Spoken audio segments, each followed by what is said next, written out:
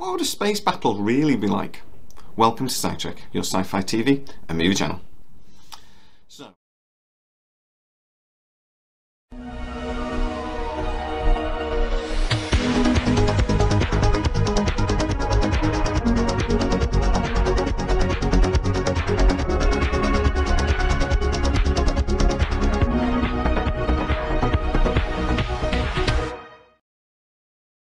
so I am a sucker for an amazing space battle. One of my subscribers actually calls it um, spaceship porn, um, but I and I kind of agree with him. It's gratuitous space battles. I actually love that. In Star Trek, it's the favourite bits of my movies. You know, the Wrath of Khan space battle, amazing. Sir, our shields are dropping. Raise them! I can't! Where's the override? The override! Fire. Um, Undiscovered Country, Space Battle, amazing. Star Trek Nemesis, Space Battle, not a very good film, but a good space battle. So for me, I love that. But what would a space battle in reality actually look like? Would it be anything like as exciting as what we see on the screens? Well, I'm going to have a think about what sort of weapon systems I imagine will be available to these big space armadas in the future and what a space battle would actually look like.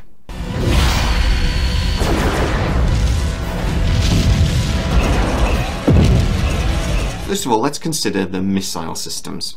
We would probably still have some sort of projectile, self-propelled projectile that we would consider nowadays to be a, a, missile, or a photon torpedo if you like, that would be fired at our enemies. Now, the thing is, at the moment, in Star Trek in particular, those ships are a couple of hundred metres apart, firing, and then it's quite a small explosion. Well, we know from our own common sense that at very least a warhead, even if it was a couple of metres long, would have a nuclear warhead if nothing else. It would have to have uh, a warhead at least more powerful than that. If you had antimatter warhead, for example, it would actually be incredibly powerful. The boom would be, and the shockwave that it would create would be massive. Without some sort of shields, but we'll talk about defences later, without some sort of shields, one missile would be enough not just to destroy an enemy vessel, but to completely vaporise it. But how could missiles or torpedoes work?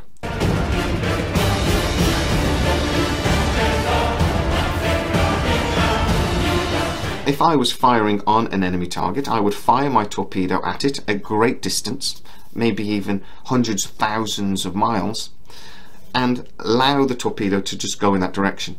I would only then activate the torpedo when it got reasonably close, then lock onto the target, and then maybe thrust one more time just into the thing to hit the target. Other weapons, though, include potentially railguns. This is something that is currently in development today. A railgun is a very simple technology, really. You have electromagnetic coils, boom, boom, boom, boom, boom, and the projectile is pushed along those and can be fired at incredible speeds. You can also, because there's no sort of mechanical element to them, you can fire lots of projectiles really, really fast.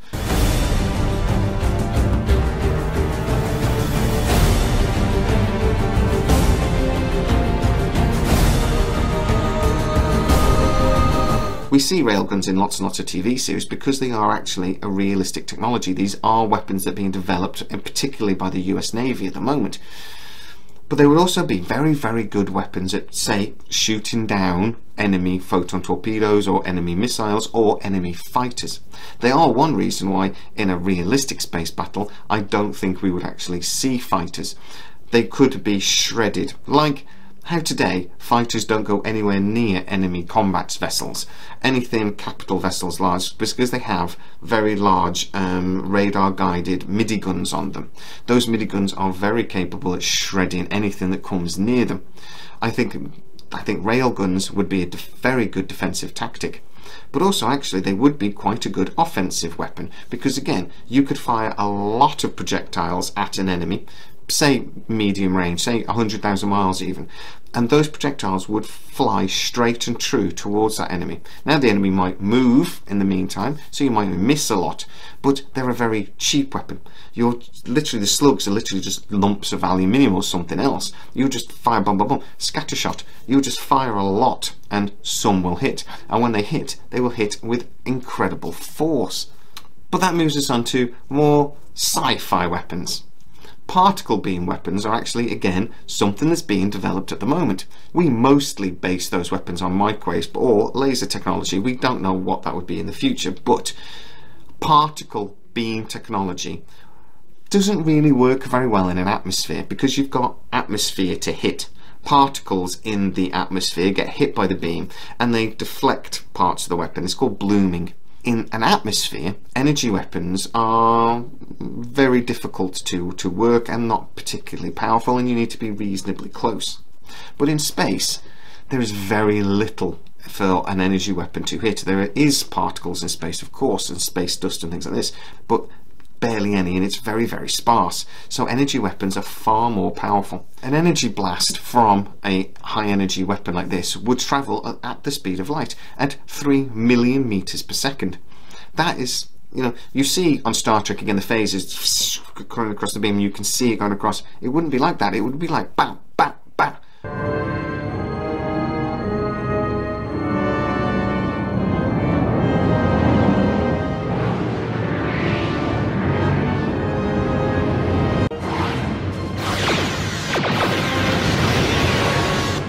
Very, very fast and incredibly long ranges. Again, these ships a couple of hundred meters apart wouldn't look like that. You know, you could you could shoot at an enemy three million meters away and hit it in a second. Finally, I'm going to very quickly talk about plasma weapons because this is again something that is being developed at the moment. The Russian Federation in particular is very interested in plasma weapon technology.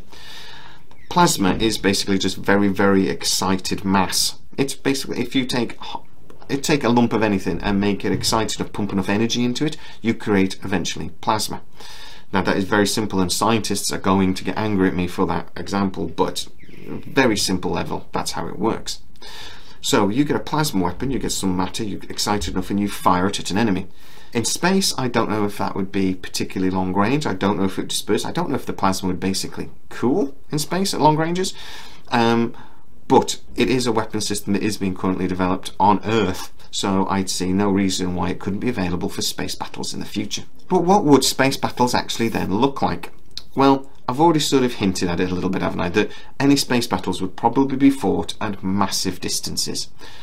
The way I was thinking about it was naval battles of old. So naval battles back in the day, World War One, World War Two, they would be fought over days. They would be fought over hundreds of miles potentially. Because one of the first problems you'd have is actually finding your enemy.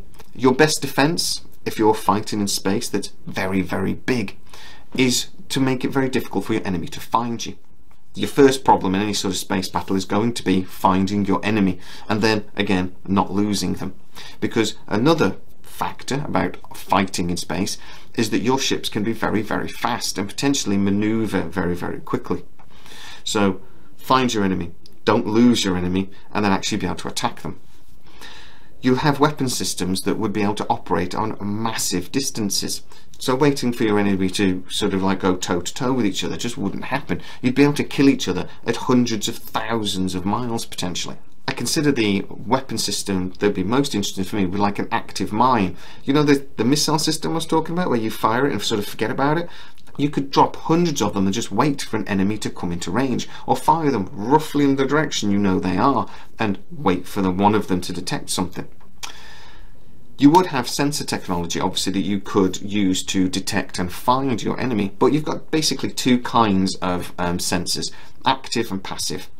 This is something that submarines have to contend with all the time, that if they use their active sensors, and that is mean you project some sort of energy out, like radar or something like that to detect something. So you send out some energy, that energy bounces off the um, target and you can detect that. But if you do that, you become detectable because you are emitting energy.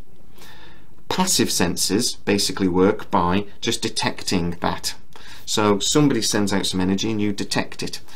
Heat could be a passive sensor potentially because you could use cameras to look for it. So again, if a spaceship though was designed to not emit heat, not emit energy, and not emit light, it would actually be very difficult to detect without some sort of active sensor array. That would again lead into the fact that space battles would probably last over weeks. There would be cat and mouse sort of coming in, maybe firing off a few rounds and then disappearing again. It would be hunting your enemy down, desperately, constantly trying to find them. If you then add in things like shields and defences, again, like saying like using the railguns to shoot down any missiles that come in within range, or using energy shields to defend yourself against energy weapons. If those shields were any sort of effective, then you would have to hit your enemy potentially a lot before making any serious damage, but again, prolonging any battle. So having capital ships that were survivable would be very, very important. Because if a missile did go off, it would potentially destroy you in one hit.